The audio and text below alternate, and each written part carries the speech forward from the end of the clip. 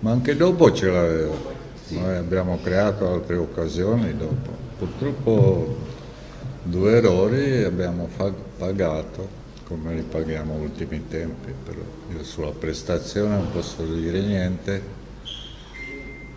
perché non abbiamo fatto, non abbiamo fatto male. Entel ha fatto quelle due cose su errori nostri, su un calcio d'angolo a nostro favore, abbiamo perso la palla e, su, anche lì su un rinvio lisciato abbiamo preso il secondo.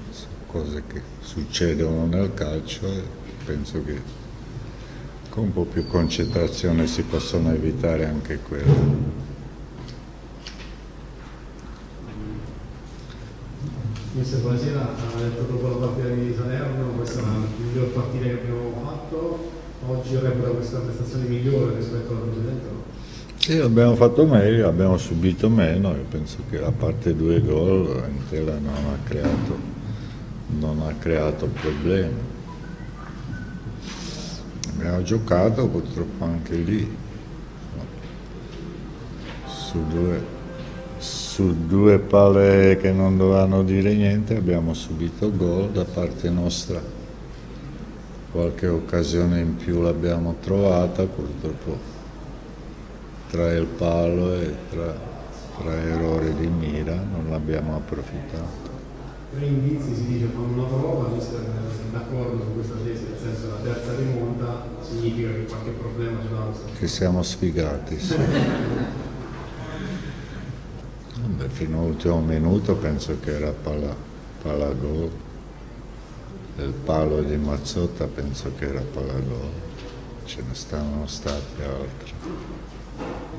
Quindi viste soprattutto sfortuna questa per la gara di questa Una partita giocata così per forza è sfortuna.